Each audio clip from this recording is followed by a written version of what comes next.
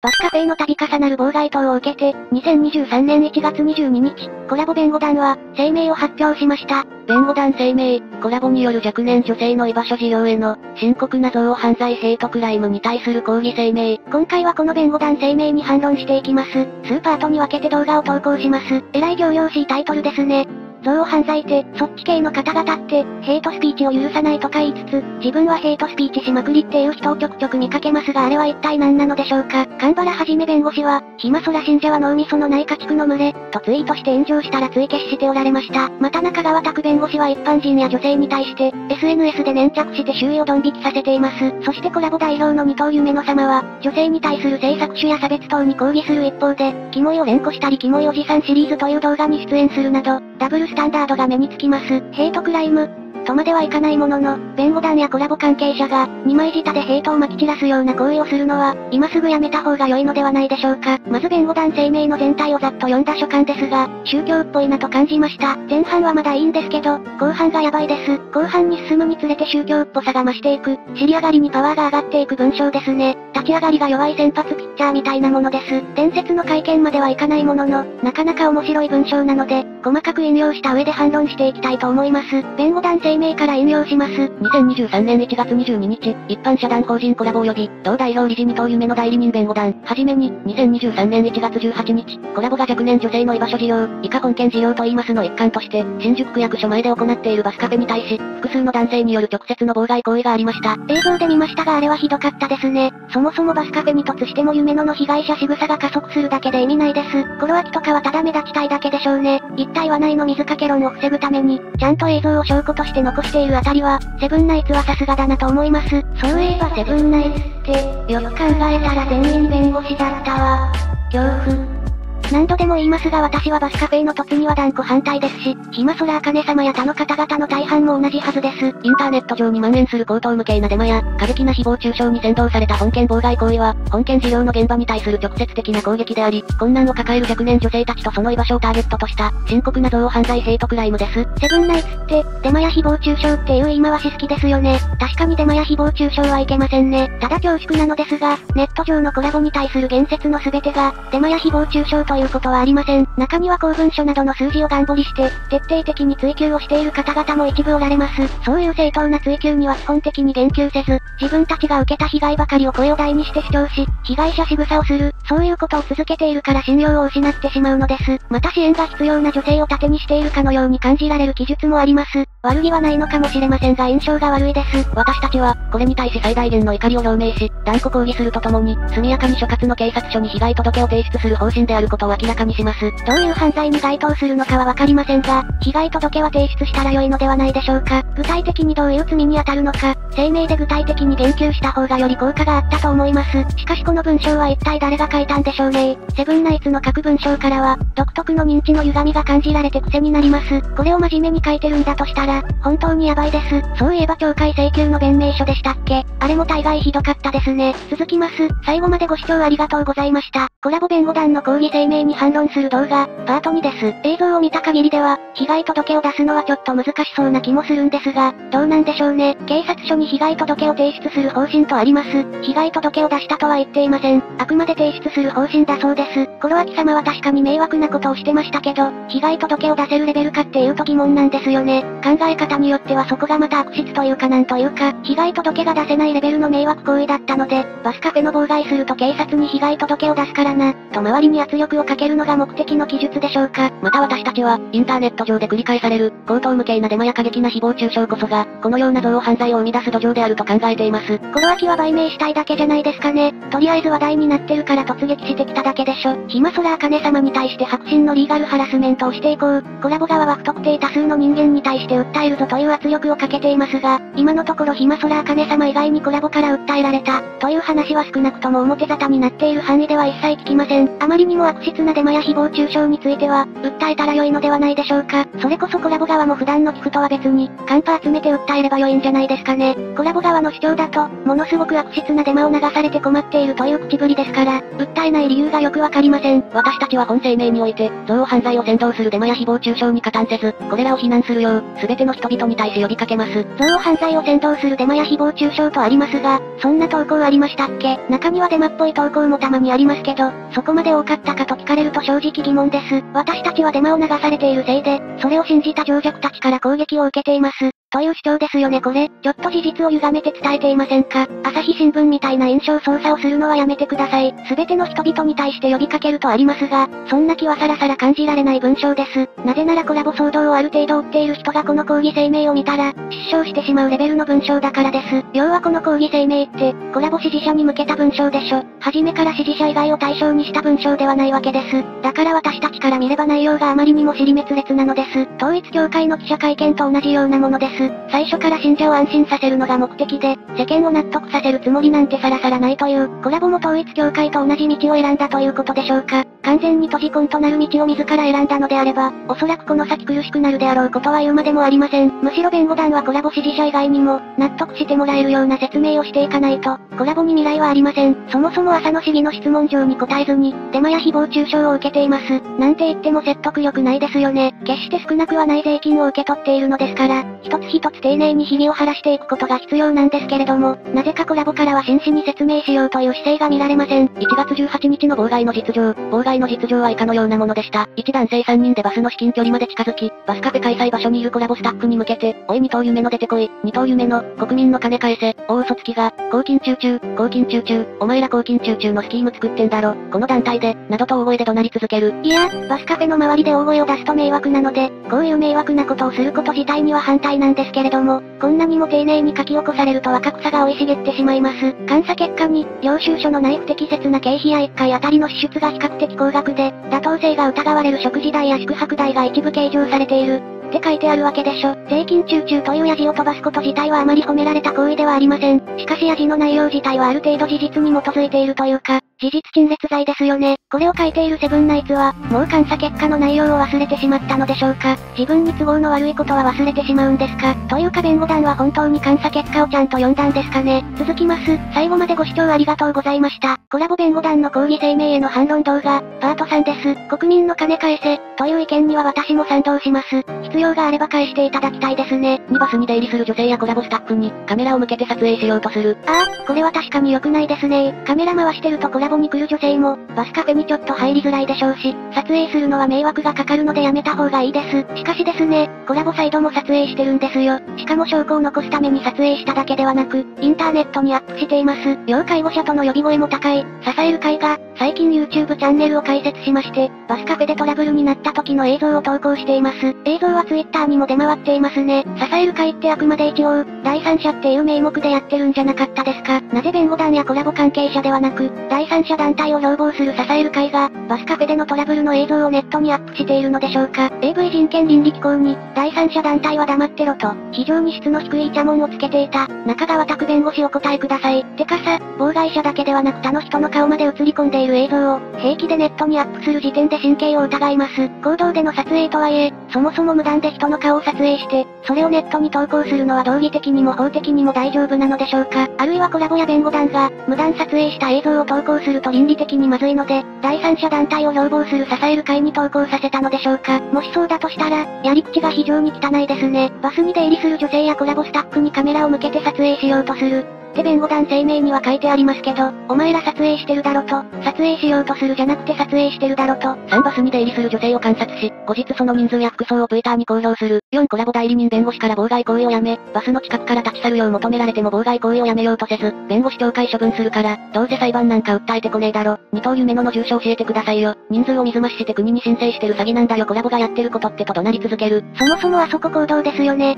行動から退去しろとか言われても、退去する義務はないんじゃないでしょうか。ただまあ大声出して妨害しているとあっち行けと言われても仕方ないですね。弁護士、懲戒処分するからとありますが、中川拓弁護士に関してはすでに2回、懲戒請求を受けていますね。どうせ裁判なんか訴えてこねえだろに関しては、いいねや RT も訴訟対象になるとほのめかしておいて、今のところ訴訟する動きは全くありませんので、実際は訴える気がなかった可能性が高いです。なのでこれも事実陳列罪に当たります。詐欺なんだよコラボがやってることってに関しては、地方自治体から受け取った委託保護費を、裏帳簿につけている疑惑がもし仮に本当だとすれば、実質詐欺みたいなものですね。コラボは早く朝の市議の公開質問状に答えてください。政治家からの質問に対して、質問状を受け取ったが開封していないので見ていない、という趣旨の不誠実極まりない回答をしていますので、詐欺だと言われても仕方ないんじゃないでしょうか。510番通報によって駆けつけた警察官に仲裁され、一旦離れた後も再度バスに近寄ろうとし、それを制止したコラボ代理人弁護士に対し故意に肩をぶつけて威圧したり、触れられていないのにわざと自ら転んで、弁護士に暴行されたと怒鳴る。あれほんと草生えましたわ。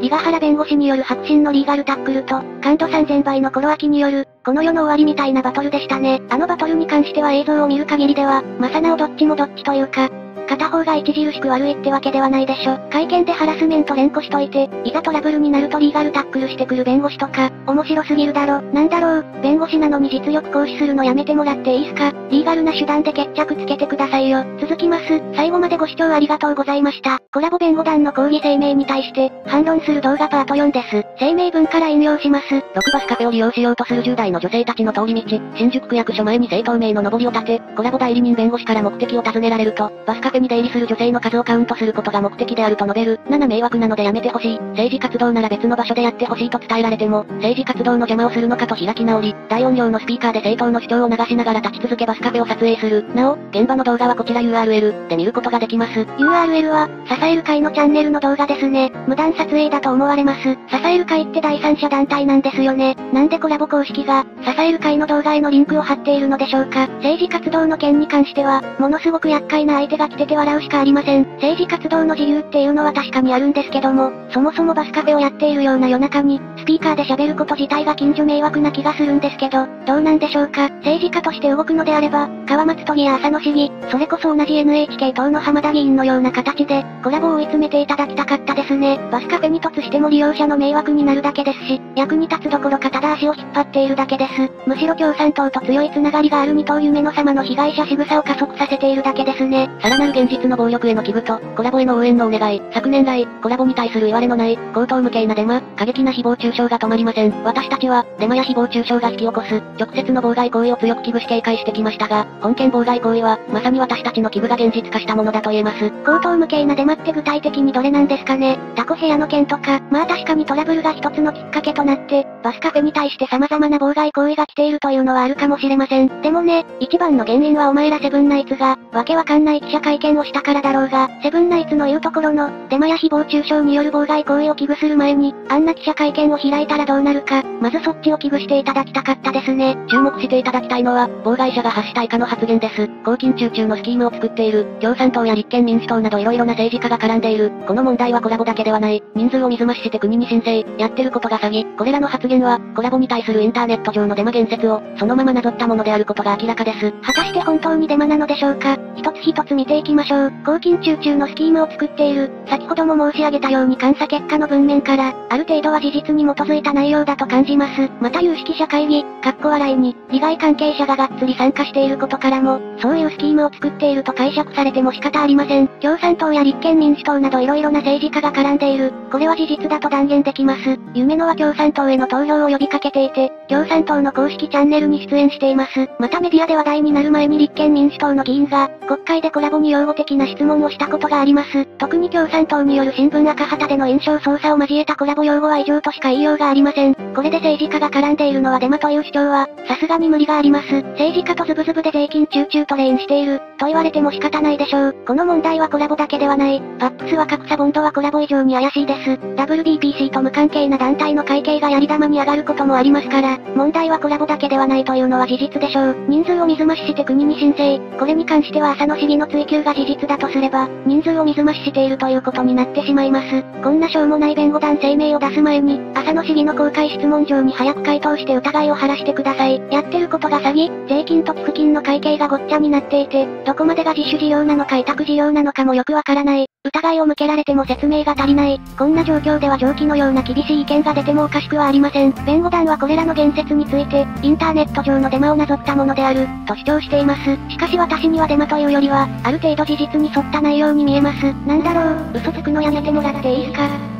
続きます。最後までご視聴ありがとうございました。コラボ弁護団の抗議声明に反論する動画、パート5です。弁護団声明から引用します。コラボの会計に不正がある、との言説はデマであります。そのことは、2023年1月4日公開の、住民監査請求結果で明らかにされています。ああそうですか。結構強く出ましたね監査結果では不適切な箇所、妥当性が疑われる箇所、過小報告、ご記載などが指摘されていましたが、セブンナイツの認識では不正はデマ、ということだそうです。まあセブンナイツの主張も100%嘘というわけではないんですけれども、あれだけ指摘されてたのに完全にクリーンです。みたいに言うのも印象操作が過ぎるのではないでしょうか。監査結果が出た際の、コラボ側の謎の勝利宣言は面白かったですね。セブンナイツはそもそも監査結果を読んでいないのではないか、という説まで浮上しました。そもそもあの勝利宣言は、支持者を安心させるメッセージではないかという見方もあります。実際あの勝利宣言以降、コラボは寄付金が増えたと主張しています。印象操作みたいなことをして、寄付金を増やして大丈夫なんですかね。そんなことしたら後々面倒なことになる気が。それにもかかわらず、コラボに対するデマや誹謗中傷はその後も止まりません。そしてデマや誹謗中傷に先導された者たちが、若年女性を守るための現場に対し、直接的かつ暴力的な攻撃を加えてきたのが本件妨害行為です。この現状はもはや一団体の誹謗中傷被害という域をはるかに超えています。批判が止まらない理由は、支持者のみに向けた、変な勝利宣言をしてるからじゃないですかね。やはり税金を受け取っている以上は、不審な点があればできるだけ速やかに真摯に説明していく、という姿勢が望まれます。税金の使い方に関する政治家の質問状に対して、あんな失礼な対応をしているようでは、批判が収まることは未来永劫ないでしょう。ここでも若年女性を持ち出しています。いや若年女性を便利な盾みたいに扱うのは、やめてもらっていいすか？直接的かつ暴力的な攻撃を加えてきた。この言い回しはちょっと大げさではないでしょうか。暴力的な攻撃ってさ、大げさすぎて読んでるだけで笑っちゃうんですよ。リガハラ会見の時の、すべての女性に対する攻撃、とかいう発言にしてもそうなんですけど、そこまでして被害者ポジションになりたいのかと、セブンナイツの表現があまりにも大げさなので、別の意味でかわいそうになってきます。てかセブンナイツもリーガルタックルしてたじゃないですか。まあ相手も転び工房みたいなことしてましたから、あれはどっちもどっちですかね。現在でもインターネット上には、デマを信じてコラボを面白おかしく揶揄し、中傷する動画や投稿が大量に流れています。デマや誹謗中傷はダメですけど、法的に認められた範囲内で評論をするのは、特に問題がないと考えています。っていうか、セブンナイツが面白いことばっかり延々としてるから、揶揄されるんですよ。会見の後からずっと基本的に面白いことばっかり続けていますよね。なんなんですか？セブンナイツはあえて炎上させて WBPC を消し済みにしようとしている成人なんですか？ここにも印象操作が含まれていると感じます。コラボに対するそこまでひどい誹謗中傷の動画って、ほとんど見たことがないんですけれども、モロチン中にはごく一部あるかもしれませんが、そもそもコラボについて動画で取り上げるること自体、訴えられる可能性があるわけですから、私が見た範囲ではみんな慎重にやっているなという印象です。これもコラボ支持者に向けた記述です。YouTube のコラボに関する動画は、デマを真に受けたものが大量にあるから信じるな。支持者が見たらそう思ってしまうかもしれません。実際は表現に気を使っていたり、事実陳列罪をしている投稿者が大半だと思うのですが、まあコラボ側からしたら、YouTube のコラボ関連の動画を支持者に見られると、困るということでしょうねおそらく。よし、じゃあもっと投稿しないといけませんね。続きます。最後までご視聴ありがとうございました。コラボには申し訳ないと思っています。しかしあんなふざけた会見や抗議声明を出されたら、動画でこするしかありません。弁護団声明から引用します。コラボ攻撃は、一種のネットの娯楽になり、コラボを攻撃すると動画視聴回数が増える、という状況さえ生まれています。この状況に一部の政治家すら加担しています。娯楽、うんまあ解釈によっては、娯楽の一種になるのでしょうか。そんなこと言い出したら、巷で話題になっているニュースとかも全部、娯楽になっちゃいますけどね。コラボを攻撃すると動画視聴回数が増えるっていうのは、は確かに実際そうです。まず YouTube や SNS にはその時々の流行り廃りがあり、今はコラボや WBPC に関するニュースが強い。つまり人々の関心を集めているというだけの話です。話題に便乗することを心よく思わない人も一部いるようですが、実際コラボ関連の動画はかなり再生されています。つまりそれだけ需要があるということなのです。そもそもコラボの動画を投稿することは悪いのか、っていう話になりますね。私個人の考えを言わせてもらうと、よっぽどひどいデマや誹謗中傷、犯罪行為に該当するような動画でなければ、別にいいんじゃないかなと思うんですけど、合法的かつ健全にコラボを動画でこすることに、むしろ何か問題があるのですかと逆に聞きたいです。政治家の売名だろうが何だろうが、デマや誹謗中傷でなければいくらでも売名すれば良いのではないでしょうか。投稿者は儲かる、税収が増えて国や地方自治体は潤う、視聴者はコラボ関連の動画を見られて満足、YouTube 運営も収益でウハウハ、コラボ関係者と以外は別に誰も損しないんですよね。むしろほぼ得しかないです。合法的にコラボを動画でこすることが気に入らないというのであれば、それはただの好きか嫌いかの話であって、合理性とは全く関係のない個人の主観の話になります。まあセブンナイツやコラボ関係者からすれば、これだけ全方位から動画でこすられまくっている状況は、あまり好ましいものではないでしょうけれど、それでも自分たちが撒いた種なんですから、自分たちでどうにかしてくださいよとしか言えません。別に正しい内容の動画を投稿して、売名するなら何も問題はないんじゃないでしょうか。ただ悪質なデマや誹謗中傷はダメなので、そういうのに対しては法的措置を取るべきですね。実際、コラボ代理人弁護士が妨害者に対し、公金中中等の言葉を非難しても、妨害者はみんなやってるじゃん、と開き直るばかりでした。いやー、知らんわ。わざわざバスカフェの現地に行って妨害しに来るような奴の発言をわざわざ貼り付けて、一体何がしたいんですかねそんなおかしな奴の言うことなんて、どうでもいいですし興味ないです。そもそもこれだけ多くの投稿者が、尋常じゃないぐらいコラボをこすりまくっている中で、コラボを擁護するような動画はほとんどありません。以前コラボを擁護する動画がありましたけど、いつの間にか投稿者が自分で削除していましたね。コラボを擁護する動画がほとんど存在しない現実を見て、もしかしたら自分たちが間違っているのではないだろうか。と一刻も早く気づいていただきたいものです。インターネット上のデマや誹謗中傷は、それ自体暴力的行動に出る、心理的ハードルを下げると同時に、PV 稼ぎなど、経済的な効果すら生んでいるのです。コラボに関する話題が経済効果を生んでいる、これは事実です。いやもう本当にありがとうございます。しかし事実の中にデマや誹謗中傷、という言葉を都合よく紛れ込ませて、インターネット上の動画や投稿の多くが、デマであるかのような印象操作をしています。事実の中にほんの少しの嘘を混ぜる、情弱に嘘を信じ込ませるための上等手段です。コラボ関係者の皆様、私はこの怪文書を読んでいて、情弱を騙すためだけに書いただろこれ、としか思わなかったんですけどいかがでしょうか。さてここまでは前菜です。メインディッシュは次からです。次から怪文書のパワーが一気に跳ね上がります。頭おかしなるで、続きます。最後までご視聴ありがとうございました。コラボ弁護団、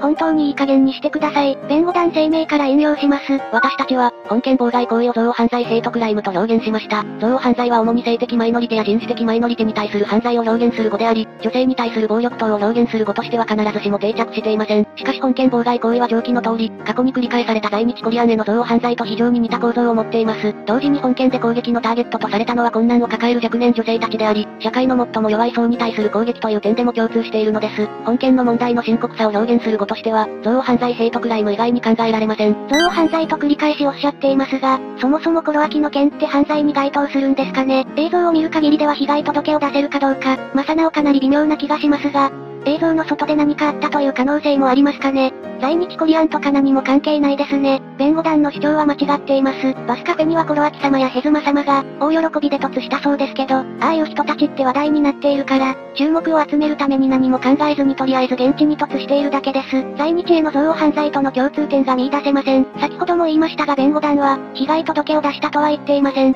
このような行為に対しては被害届を速やかに出す方針と言っているのみです。要するに弁護団は被害届も出してしていない、出すことも確定していない段階で、自分たちは憎悪犯罪を受けている、と大騒ぎしているわけです。何でもかんでも大げさに言うのやめませんか会見の時と全く同じことやってるじゃないですか。まさかあの伝説のリガハラ会見から何も学習していないのでしょうか私たちはすでにコラボに対するいくつかの誹謗中傷に対して、法的措置に着手しています。しかしインターネット上にデマや誹謗中傷が拡散し続ける状況下では、いつまた現実の暴力行為が発生するかもしれません。ちなみにコラボは以前、いいねや RT も訴える可能性がある、とほのめかしていましたが、今のところコラボに訴えられているのは暇空茜様と新聞社だけです。まあこれに関しては、今後訴訟対象が増える可能性もありますね。以上の通り本件妨害事件は、インターネット上の口頭無形なデマや過激な誹謗中傷に先導された女性に対する同犯罪ヘイトクライムであり、インターネット上のデマや誹謗中傷こそが犯罪を生み出す土壌です。非常に危険な状態は現在も継続しており、事業の継続すら危ぶまれているのが現状です。私たちは全ての人々に対し、同犯罪を先導するデマや誹謗中傷に加担せずこれらを非難するよう呼びかけます。以前、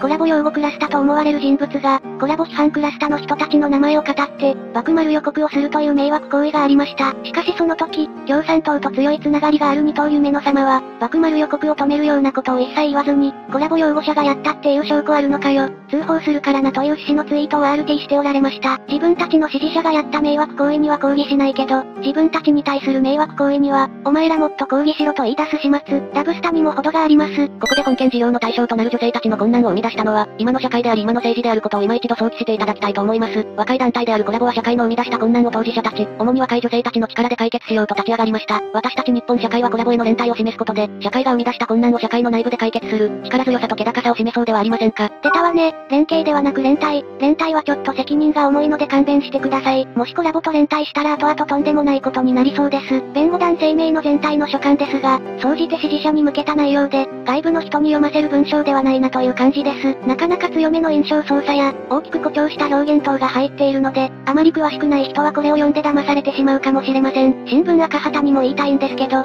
ここまであからさまな印象操作をするのは良くないですよ。ねえ共産党と強いつながりがある二刀夢の様、こんな怪文書を書いている暇があるのなら、ぜひ一刻も早く朝の市議の質問状に回答して、力強さと気高さを示してください。最後までご視聴ありがとうございました。1月22日、コラボ弁護団が、とんでもない声明を発表しました。弁護団声明コラボによる若年女性の居場所事業への、深刻な憎悪犯罪ヘイトクライムに対する抗議声明です。特に後半はセブンナイツ大丈夫か、と本気で心配になる怪文書でした。こちらの声明文に対する皆様のコメントを一部紹介します。皆様たくさんのコメントありがとうございました。紹介できなかった方々もご協力感謝いたします。デマに対する証拠は、問題は不正会計と反日活動誰も女性云々は責めてねえ。このくだりはいつまでやる気、文章長い同じことを比喩をエスカレートさせて繰り返すのやめて、一線超えたね。改良がくどい、新宿区の役人も入れないバスの中に共産党の山丸議員がバスに入っている写真見たけどな。本当に関係ないの。あと連丸と辻丸と夢にゃんのスリーショット写真も見た本当に関係ないの。いつもの被害者ムーブ、バスカペトツする奴と迷惑行為する奴は本人を逮捕すればよい。違う、そうじゃないが無限に頭の中でリピートされてる。これを読んでお仲間以外で共感できる人がいるとは思えない。あんな文章でも支持する層がいることにびっくりだわ。常にネタを提供してくれるエンターテイナー褒めてない。ネタが尽きない最強弁護団。やたらでかい仕事広げた風呂敷の大きさと、旺盛な被害者意識で新消防大という四字熟語を思い出させてくれたありがとう。被害者って立場は時に最強の強者となれる。今頃になって慌てて昔の領収書を整理してるみたいなずさんな組織なんだからそりゃ無茶だわ。怖い世の中になったな。考え方はいろいろあるのはわかる。しかし今回のこの声明を見たり聞いたりしてその通りだコラボが正しい、と思う新規の方はいるのでしょうか。自分たちの過ちを認めず印象操作を繰り返している。日本人なら監査を受けて指摘の内容を真摯に受け止めるのが普通。そんな対応だった全然受け止め方も違ったと思うよ。良くも悪くも熱しやすく冷めやすいネット炎上に対して絶対にやってはいけない定期的に燃料を投下する、を見事に実践してるのくさ。これ以上お気持ち表明し続けても信用をなくし、ボロを晒し自分たちが不利になるだけなのに未だに続けてるあたり本当に話が通じない相手なんだと実感。自分たちが言ってきた言葉を置き換えただけでは、ですよね。あっちの界隈の上等手段自分のことは徹底的に棚上げして相手を下げる発言ばかりする。シャドーボクシングが楽しそうで何より、人権が、ハラスメントが、ネットの拡散力を知らないテレビと新聞が王道だと思ってる旧時代の人間たち。いつものごとく意味不明すぎて若草、なまるすなんて言葉を用いてくるなんてとんでもないな、突してる奴は利的行為。相手の話を聞かない論点をずらすレッテル貼り、いつものあの界隈の上等手段だよなって感じ。もう好きにすれば、こんな人たちに構ってると時間がもったいない。いいから領収書出せよとしか、身内向けの文章、外に向けたものではないと思います。もう70代ぐらいまでネットを使って情報収集してるような時代なのよね。希代の怪文書メーカー、言われてるぞ赤い羽、連帯しろってよ、してるんだっけか、引くに引けない状況だから矛先を別のところに向けようとしているのか、今の状況を理解しておらず自分たちこそ絶対正義なのだと思っているのか、正直この手のやからは痛い目程度では理解できないと思うので落ちるところまで落ちればいいと思う。ラインを超えた妨害行為は単純に迷惑だからやめるべきそれはそれとして、コラボは身の潔白を証明すべき。これ暇そらし的にラッキーと思ってるんじゃないか。簡潔にまとめてくれ。全部読むには内容がしんどい。領収書ハラスメント。書いてある文章がことごとく朝日の記事と被るのが気になる。大喜利かな。お気持ち表明じゃ潔白の証明になんてならないから無駄だけど証拠の怪物のネタにはなるからもっとやれよ。文章から始まりの弁護士感があって懐かしかった。本当に問題の本質が理解できないのか心配になるレベル。弁護士が書いた文章なんだ。言うにこと書いてなマルスはマジでやばい。ゴドウィンの法則が発動しました。今回の功労者、強し弁護団の争点がおかしい本筋からそらそうと必死。声明文見てて気分悪くなりました。昔の童話問題から変わらない。さすがネオ童話、恫喝やリーハラが通じない相手に何度も同じ手法を使うとか、今まではこれで黙らせてきたんだろうと容易に推測できる。最後までご視聴ありがとうございました。